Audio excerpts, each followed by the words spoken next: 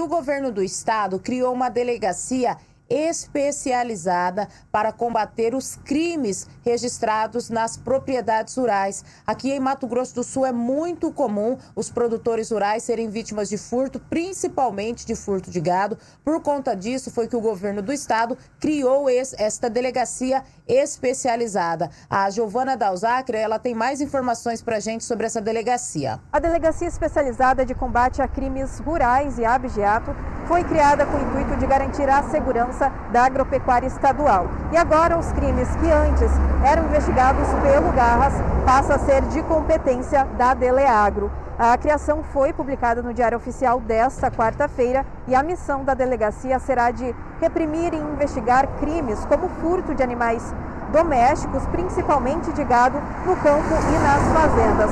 Além disso, a delegacia deve reprimir também crimes como subtrações de insumos defensivos e maquinários agrícolas. A delegacia também vai mapear as estradas e as propriedades rurais para fazer uma análise criminal e uma formulação de políticas eficazes para garantir o combate a esses crimes.